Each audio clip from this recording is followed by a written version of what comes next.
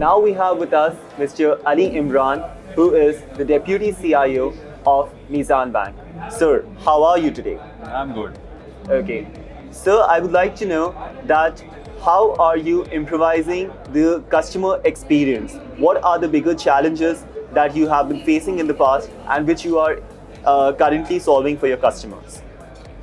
Um, as far as uh, uh, challenges are concerned, I think uh, there will be challenges. If you are able to solve one challenge, there will be another challenge. The important thing is, they, uh, with the help of your technology partner, you should be able to resolve all these challenges. So nowadays, the, the most important thing is customer experience on, on digital front or, or channel end.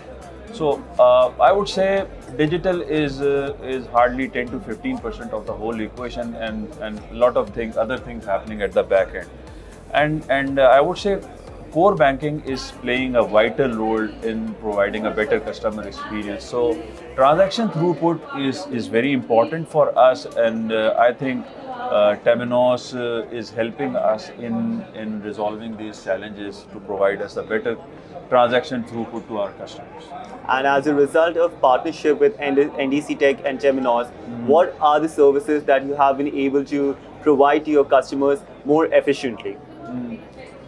Almost all the services uh, uh, on on uh, branch banking and almost all the services being provided at the counter should we should be able to provide all these services in an optimized manner. On digital front, on digital front, uh, we are of the view that uh we should give uh, those services which are in demand to customer, which customer needs more often. So and and do it in a best manner. So, for example, fund transfers or bill payment, and so uh, with the help of our our partners, we have optimized our back end in such a manner that we have been able to provide optimal services uh, to our customer, resulting in, in a customer delight.